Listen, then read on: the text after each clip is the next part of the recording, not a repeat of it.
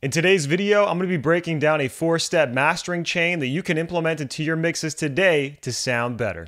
Are you ready? Let's go.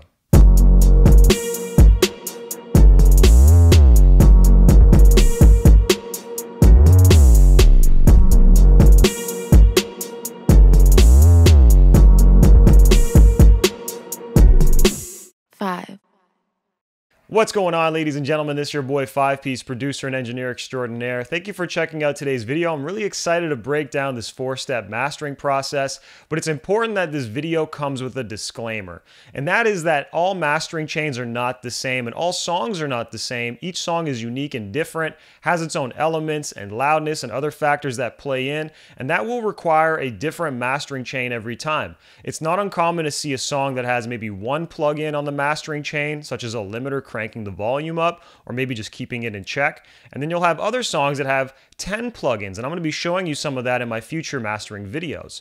Now, if you follow this mastering chain, you should be able to achieve a louder and fuller master, and at the same time ensure that your song is going to translate onto multiple streaming services, as well as different listening devices, whether it's a big speaker or in the car or on a laptop or a cell phone, etc. It's going to make sure that your song translates across all of these different mediums and devices. This video is sponsored by DistroKid. I've been personally using DistroKid for years for my own music releases, and if you're an artist or musician that's looking to get your songs on Spotify, Apple Music, and more, you absolutely have to consider using their services. Now, it doesn't just stop with getting your music onto these platforms, which is super critical, by the way. That's where everybody is listening to music now, but they also offer all kinds of promotional tools that you can use to further your release. So, I'm talking about things like promo cards and mini videos. These are additional features that you can use on DistroKid, assuming that you're a member, to create new pieces of content that you can then leverage and promote on social media. So if you have a new album or a new single out, you can actually create the promotional materials on DistroKid's back end. There's so many amazing features with DistroKid. I'm really just scratching the surface. But if you want to see a cool video I did about their recent marketing feature update, I'm going to leave a link up here that you could check out and watch right now. Now, because DistroKid sponsored this video, they gave me a special link that'll give you guys watching at home a nice little discount on your first year's membership. So if you are planning on signing up, definitely hit the description below, click my link, and use that to sign up. You'll get a nice little savings and access to all these features that I'm talking about. Now, with that in mind, let's talk about this four step mastering process. So the first step of this four-step mastering process is to use MSEQ. And we're going to have two goals with this MSEQ. The first one is to increase the amount of headroom we have available, or potentially increase it at least, using some strategic filtering. The other step that we're going to take with this EQ is we're going to want to remove bass from the side channels. Again, we're using MSEQ, not stereo EQ, but MS, where we're splitting the signal into a mid and a stereo channel. Now, what we want to do is, again, we're going to take the stereo channel we're going to remove the bass. And that's because the stereo field doesn't really need bass like that. And by doing so, it's going to really concentrate the bass in the center of the track, in the mid channel. Again, we're not getting rid of it all around and, and, obviously making the track sound thinner, we're really just getting rid of it in the stereo field and therefore keeping it concentrated in the middle or the mono channel. And this is important because us humans, we have a hard time detecting where bass comes from. You'll know that if you take a bass sound and pan it far left or far right, it feels very, very strange. It's because we're not really designed to understand where bass is coming from directionally. That's why we love it when it's right down the middle, and that's what the goal of this MSEQ is. So with that in mind, what I want to do is I'm going to obviously set this Pro Q up. I'm going to create a low cut filter and I'm going to first go into the side channel. So I'm changing my mode so it's out of stereo and into side.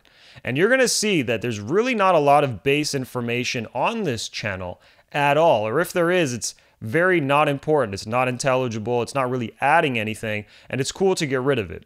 As a benchmark, I can generally get rid of up to 200 hertz in the stereo field using this filter and suffer very little consequences. If anything, it'll make things sound tighter. But if you do this correctly, you're really not going to notice much of a difference at all. And all you're going to do is really create a little bit more headroom and clarity in the mix above all else. So with that in mind, let me set this up. I'm going to just solo this frequency and listen and swipe to the right until I really hear a lot of information that seems to be a little bit more important appearing or you know, being audible, and then I'm gonna taper it back and not remove so much. So let's start with the far left at 10 hertz and bring it across. Here we go. So far, we're hearing nothing. So now we're starting to get something here, as you can tell, at 70 hertz.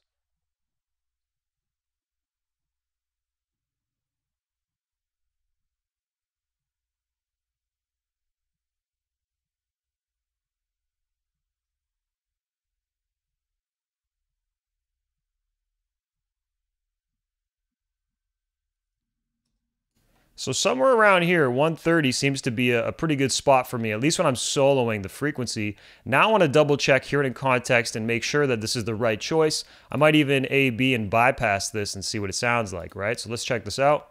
I know what's involved. They ain't got no. When they on they lonesome, they just hate on us. While I'm stacking up, get my paper up. I don't need them, no sir. They can't no. When they on they lonesome, they just hate on us. While I'm staying.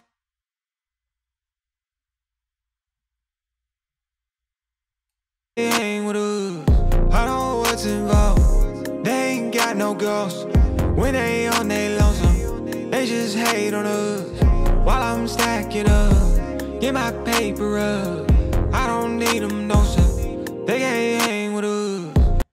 So as you can see, I actually moved a little bit more to the left. I'm removing less of the low end because I felt like things were changing just a little bit and I, I don't want this to be super, super noticeable. I'm really trying to just make sure that like 100 hertz and below is clean and allowing that sub frequency range to really be focused and in the middle. So essentially, there's no more sub here on the side channel. However, it still perfectly exists in the middle, so we're not really losing anything that's important. We're just losing it in a place where we don't really need it in the first place. Now, the other thing you may be wondering is, how about the mid channel? Should I be removing anything there? Uh, I'm very, very careful with that, and I typically do not like to remove anything in the mid channel. You will see people online saying, you know, get rid of up to 30 hertz because it's low end rumble. And I definitely used to do that. You can do that in the mid channel and achieve some more tightness. However, I find that it's very easy to make a mistake or remove too much and basically create a thinner sounding master, which we don't want. So I'm very, very reluctant to remove anything in the mid channel on the low end. I'd be much more inclined to go into the mix and maybe fix things there on the low end rather than fully remove that low end stuff because even though it is rumble, there is still information there, especially on big speakers that can be important. So really the first step here is we're using MSEQ but we're using really just the stereo band, the S or the side band, I should say, to filter out some of the low end, create some additional space, and really have the track be focused in terms of the bass, have that bass be focused in the middle. Before I continue with the next step, I wanted to ask if you're getting value out of this video, if you like what you're seeing, or if you're learning something new, please smash that like button. That would really help my content reach more people like yourself. And if you're new here, please consider subscribing to the channel and hitting the notification bell. I drop something new every single week, always focused on helping you sound better and helping you make more money with your music. If you want to help with these two areas, which are super important for the success of every musician, definitely subscribe. I'd really appreciate that. And I'm looking forward to helping you in future videos. Now, with that being said, let's get back to this and talk about the next step. So the second step in this four-step process is compression.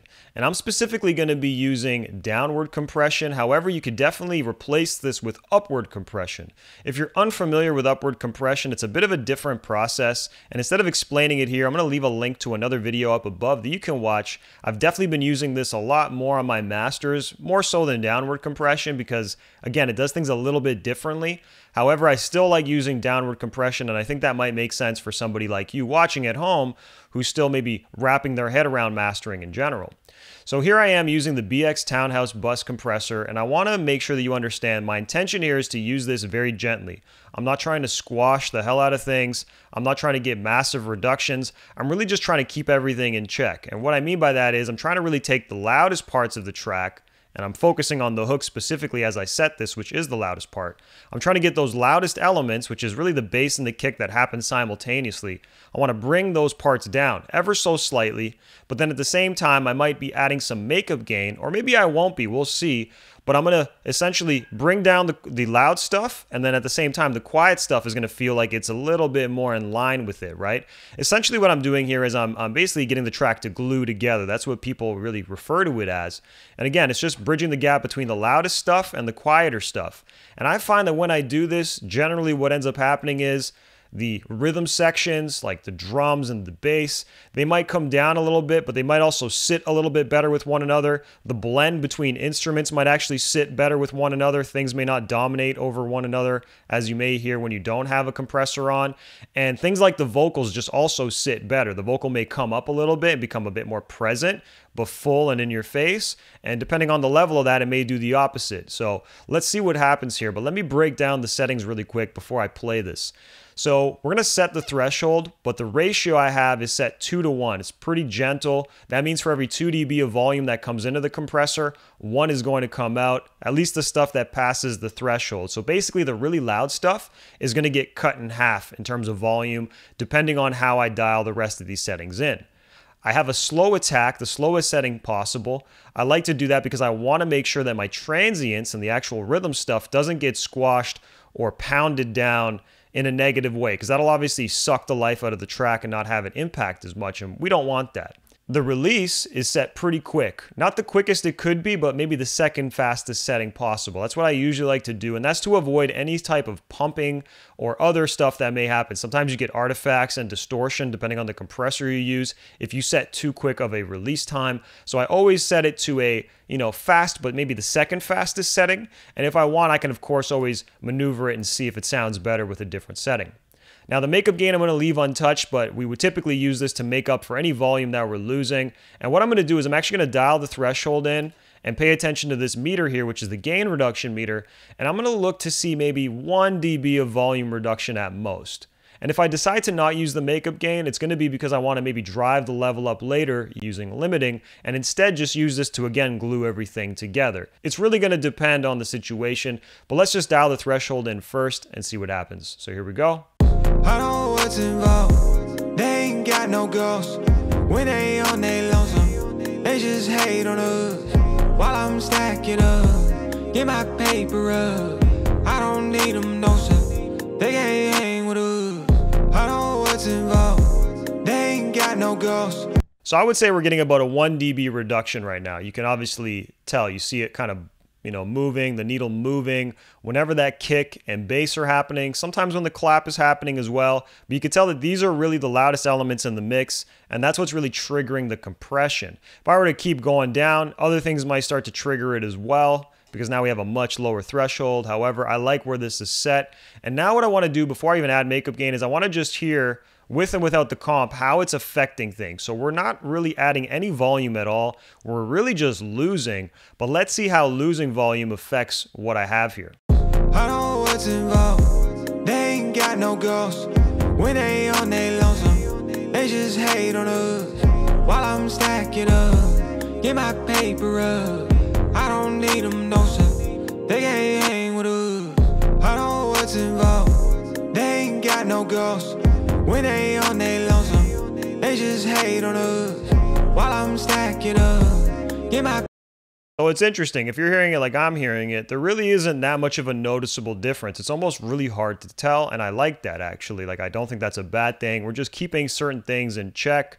And that's obviously also creating some more headroom for us to turn things up. Whether I decide to do that now with the makeup gain or later on using something like a limiter. Just to be devil's advocate, let's actually use the makeup gain and see what happens. So I've added a full dB to fully make up for what I'm losing. Let's see the difference now in volume. And what I want to tell you here is you got to be mindful because when you're adding makeup gain back, this can actually become a problem. You can deceive yourself into thinking it's better, right? We always, or typically at least, think that louder is better, but louder isn't better. Louder is just louder, right? So let's actually take the comp out, put it in, and see how much of a difference this is. I might back off on the makeup gain. Here we go. I know what's involved. They ain't got no. When they on they lonesome, they just hate on us. While I'm stacking up, get my paper up. I don't need them, no sir. They can't hang with us. So I actually think this is a little bit much. So I'm going to maybe dial this back. Let's go down to a 0.5. And you got to remember, even though we're losing 1 dB, it's only happening at certain moments, not happening across the board. So me adding this much volume back, that's really affecting the stuff that isn't loud enough to get compressed, the stuff that isn't loud enough to pass the threshold.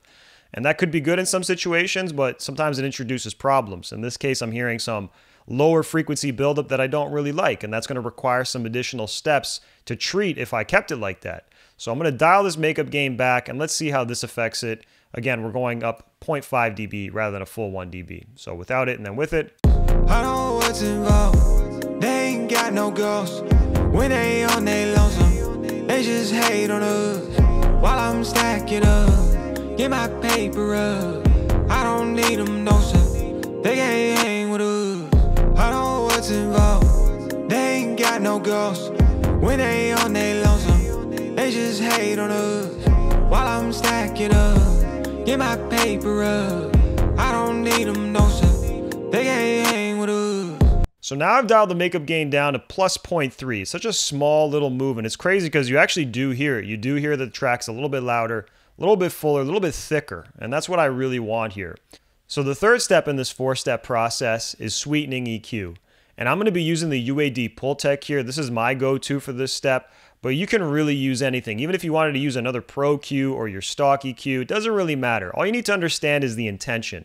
And the intention here is we're going to generally want to sweeten certain areas of the frequency spectrum to bring a little bit more life or pop to specific sounds that maybe occupy certain range. So let me be a little bit more specific. I like to do this to basically increase the top end the high end, the treble, whatever you want to refer to it as. And that'll usually add a little bit more shine to vocals, a little bit more presence to snares. It could also have some negative attributes. It could maybe increase sibilance and harshness, maybe bring up the hi-hats too much. These are things that we have to address when they come up, but I like to sweeten the top end and I also like to enhance the bottom end. I like to increase the presence of the bass and the kick drum. And I want to mention that because we're mastering, whatever we do here is really going to affect everything more or less equally. So we're not going to be cranking the boost volume up to 10, right? That's going to be too much. You're not going to want to make a huge, huge move here. Instead, we're going to be looking to pull it up maybe 1, 2 dB at most, but typically it's 1 or less. So I like the Pultec because things are in a fixed position. I choose between 20, 30, 60, and 100 hertz for the low end and, you know, 3K to 16K on the high end. So first thing I'm going to do is increase my bandwidth so it's somewhere around 7, a little bit wider. It's a wide Q. And I'm going to completely ignore the attenuation. This is the reduction. And instead just focus on boosting. So let's do that for the low band first. I'll probably increase it significantly, and it's not going to sound good necessarily. It'll sound overdone, but I want to really exaggerate it first, figure out which of these frequencies I like, and then I'll dial it back to maybe adding, you know, a half to a 1 dB, okay? So let's do this in context. Here we go. I know what's involved. They ain't got no ghosts. When they on they lonesome, they just hate on us. While I'm stacking up, get my paper up. I don't need them, no sir. They can't hang with us. I know what's involved. They ain't got no ghosts.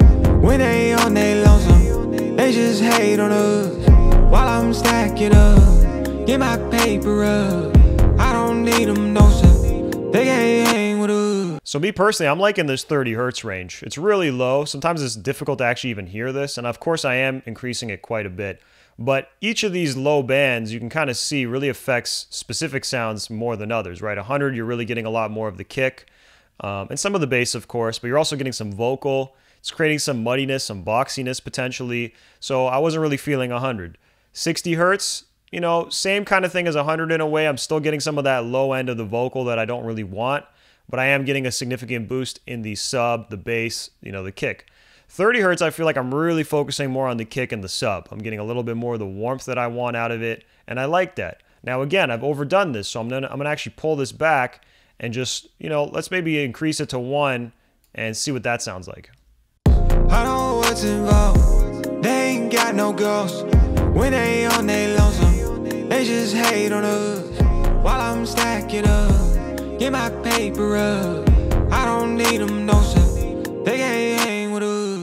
I know what's involved. They ain't got no ghosts.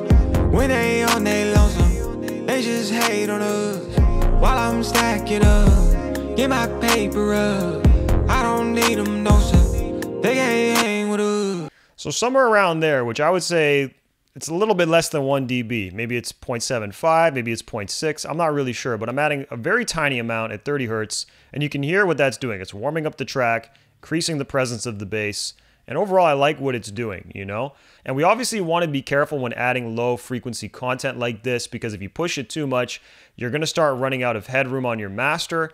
And we don't want that. You're going to run into clipping and all kinds of issues. We're really trying to preserve headroom here while at the same time adding these different frequencies and compressing and doing these different steps, right? Let's do the next thing, which is the high end. So I'm going to do the same thing. I'm going to kind of increase this maybe to five and just sweep across the spectrum and see, you know, from 3 to 16K, which frequency sounds best. I find that between 10 and 16 is usually the ticket, but, you know, let's see and find out what happens. I don't know what's involved. They ain't got no ghosts. When they on they lonesome, they just hate on us. While I'm stacking up, get my paper up. I don't need them, no sir. They can't hang with us. I don't know what's involved. They ain't got no ghosts. When they on they lonesome, they just hate on us. While I'm stacking up, get my paper up. I don't need them, no sir. They can't hang with us. So 10K seemed to be pretty good for me. Obviously, when I was sweeping around, I was listening to 12 and 16. These are a little bit lighter, and I'm sure if I was really spending a lot more time, I might choose one of them instead. But 10 is where I felt like I got a good amount of presence out of the vocal and I also got some good presence out of the snare, the hi-hats, and the, you know, stuff that's in the upper harmonic range, right? The upper frequency ranges. So 10 seemed to be the ticket, and I'm adding about 2 dB. I like what that's doing, and I find that that's just sweetening everything. So again, this step is really about sweetening everything. We've done some corrective measures with the filtering at the beginning, and I'm just trying to add and enhance a little bit here. I like what's happening, and whether you use a Pultec or something else, I'm sure you can achieve a really, really great result. So the fourth and final step of this four-step process is serial limiting. I've talked about serial compression in the past. I've also alluded to serial limiting, and it really is the same type of thing. What we're essentially doing is instead of having one limiter cranking the volume up and squashing the hell out of a sound, we're going to divide that across two or more limiters, and they're going to be working a lot more gently, a lot more transparently, and you're really not going to be able to hear the same quality that you get when you have a single limiter working really, really hard. It really just sounds a lot more transparent, less noticeable, and overall smoother, better, right? Now, we have to set this up a specific way. So I got my first limiter open here, and we're not really going to be trying to do a lot. Instead, all we're going to do is create a 0.1 output ceiling. I have access to the attack and release settings here, so I'm going to set a very slow attack, you know, maybe a medium release, let's say 50 milliseconds. I'll even increase my look ahead time by one, and I'll set my style to transparent. So these are the settings for the limiter, and all I'm really trying to do with this one is increase the volume if I can, or if I can't, I'm not going to increase it at all, but really just keep it in check with this output ceiling. So let's see what happens here. I'm going to play it, see if there's any reduction, gain reduction happening. If there isn't, I might add a little bit of volume or start adding it just to get enough of a nudge, just to see a little reduction. Not a lot, just a touch. And then what I'm going to do is on the next limiter that I'm going to show you, that's going to be the one where we take it and really drive the level up and by doing this, we have the safety net of the first limiter, which prevents it from clipping, allows you to increase the volume a little bit. And then the second limiter is really going to be that thing that pushes it over the edge to 10. All right, so let's check this out. I know what's involved. They ain't got no ghosts. When they on they lonesome, they just hate on us. While I'm stacking up, get my paper up. I don't need them, no sir. They can't hang with us. I know what's involved. No ghosts. When they on they lonesome, they just hate on us. While I'm so this is pretty good. I actually cranked it to 2 at first, and I saw I was getting a little bit more reduction than I wanted, so I've dialed it down to 1.5. And as you can see, it's reducing some things, yes, but overall it's keeping things, you know, in check. Nothing's too loud. It's increasing the average volume, and you can really see it here. In fact, let me play it again and just A-B. I'll bypass and put it in. Listen to the volume difference between what we started with and what we have. And again, this is just with the first limiter. I haven't even put the second one in yet. I know what's involved. They ain't got no ghosts. When they on they lonesome, they just hate on us. While I'm stacking up, get my paper up. I don't need them, no sir. They can't hang with us. I know involved. They ain't got no ghosts. When they on they lonesome, they just hate on us. While I'm stacking up, get my paper up. I don't need them, no sir. They can't hang with us. So there you go. You can hear that there's a pretty significant volume difference, even though it's just 1.5 dB. Getting a little bit more of the vocal, a little bit more high end energy, it feels like, to be honest. Limiters do that sometimes. It increases the presence of certain things, but it's doing what I want to do. The safety net is working, preventing us from clipping and increasing the overall level. Now, the final limiter, what I'm going to want to do is I'm going to want to set my output ceiling to minus one. This is to optimize it for streaming platforms because streaming platforms do recommend, like Spotify, they recommend that you have at least a 1 dB of headroom for the transcoding process when it hits their platforms. I'm going to set my release to be about the same, let's say 50 milliseconds. Set my attack to be the slowest that it can be. I'm not going to use any oversampling or dither or any of that. I know some people like to do these things. Don't like adding dither for noise. And oversampling is cool, but sometimes it affects transients in a negative way, so I've been very wary of using it lately. However, if you do use oversampling, you can get, you know, more detail in your mix, but sometimes at the expense of transients. Now, just for example purposes, I'll leave the style on transparent as well. However, we can of course play with this using the L2 if we want. And by the way, I'm using this Pro L, but you can use anything that you want, right? You can use the Waves L2, you can use an iZotope plugin. There's so many different plugins out there. Focus on what I'm trying to do rather than what I'm using to do it. Okay. So now that I've got my settings all set up, slow attack, faster release, 1 dB of out ceiling to prevent us from clipping and create that headroom for streaming. I'm now going to just dial this up and bring it up and I'm going to listen. I'm probably going to try to get a decent reduction, maybe from 2 to 6 dB, depending on how I feel. But I'm going to listen to the integrity of the transients. I want to listen to the drums, the rhythm section, and make sure that it's not getting destroyed, right? Because obviously, when you're limiting stuff, you're really clipping it in a way, right? You're preventing it from peaking, and a lot of these louder elements are what's going to suffer in the process. So let's do this very gently. I might even just dial it in one at a time, adding one, two, three, four dB, and continuing up from there. Here we go. I know what's involved. They ain't got no. When they on they lonesome, they just hate on us. While I'm stacking up, get my paper up. Don't need them, no. They can't hang with us. I know what's involved. They ain't got no ghosts. When they on they lonesome, they just hate on us. While I'm stacking up, get my paper up. I don't need them, no sir. They can't hang with us. I know what's involved. They ain't got no ghosts.